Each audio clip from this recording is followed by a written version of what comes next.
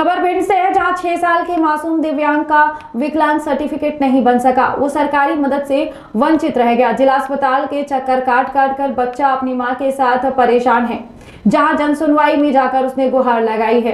सरकारी योजनाओं का लाभ लेने के लिए किस कदर दर दर की ठोकरें खानी पड़ती हैं, इसका एक नमूना भिंड में जन सुनवाई के दौरान देखने को मिला, जहाँ भरौली थाना इलाके के शड़ा गाँव के रहने वाले आहवरण शर्मा की बेटी का छह साल का मासूम कार्तिक, जो कि जन्म से ही बिना हाथों और पैरों के साथ पैदा हुआ था।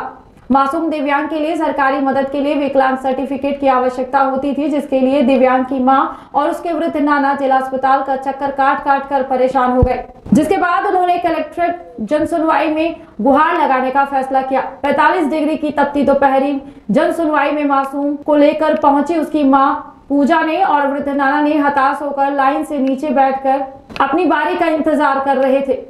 पर वो समय हताश हो गए जब उनको पता लगा कि इस बार भी कलेक्टर जन सुनवाई में नहीं बैठे हैं।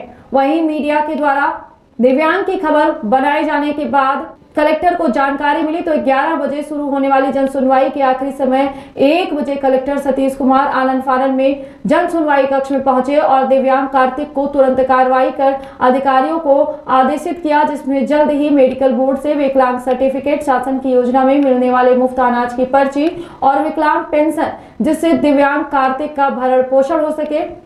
इसके लिए अधिकारियों को निर्देशित किया। इसके साथ ही आर्टिफिशियल उपकरण के बारे में कलेक्टर का कहना था कि कोई कमिटमेंट तो नहीं कर सकता हूँ लेकिन प्रयास ज़रूर करूँगा। आते ना गोली कुछ है नहीं तो क्या क्या बनना है? है कछु बनवा दे प्रमाण पत्र बनना है बनने उधार हो जाने का सरकार खाए भी नहीं पाए।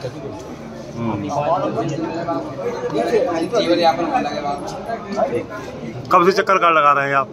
चक्कर तो लगा भी कुछ बच्चा कितने बच्चा कितने साल का हो गया छह साल को हो गए तो कब से चक्कर लगा रहे हैं आप? चक्कर तो आ रहे बहुत मंगल को मंगल को साहब बैठे नहीं गाना मुसलमान। आज भी नहीं बैठे कलेक्टर? आज नहीं बैठे तो आप कहाँ आए हो? जन सुनवाई में? हाँ आवेदन लेके आएगा कौन से गाँव के? बच्चा है। क्या नाम है तुम्हारा? कौन आया और शर्मा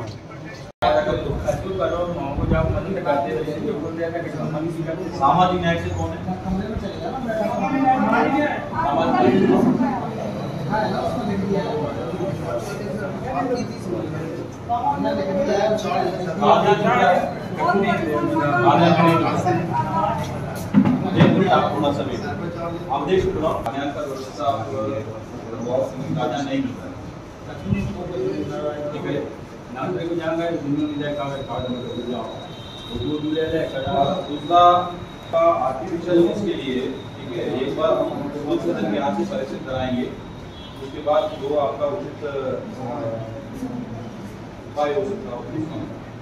एक दिव्यांग बच्चा है, उसके परिजन उसको लेके काफ़ी परेशान हो रहे हैं जन सुनवाई में भी आया वो, लेकिन उसका कहना है कि कोई सुनवाई नहीं हुई। क्या कहना है सर आपका? इसमें तीन तरीके की मदद करने के लिए मैंने अभी लिखा हूँ।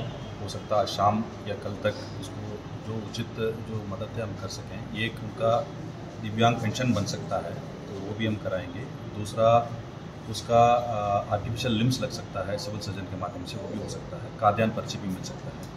तीन मेजर इशू थे इसके बाद अगर कोई और ज़रूरी हो, उसको भी हम परीक्षण कर लेंगे। आर्टिफिशियल लिम्स के संबंध में मैं कोई कमेंट नहीं कर सकता हूँ बट इसको परीक्षण के ज़रूरी है। सिविल सर्जन या जो भी तकनीकी टीम द्वारा एक बार परीक्षण कर लेंगे।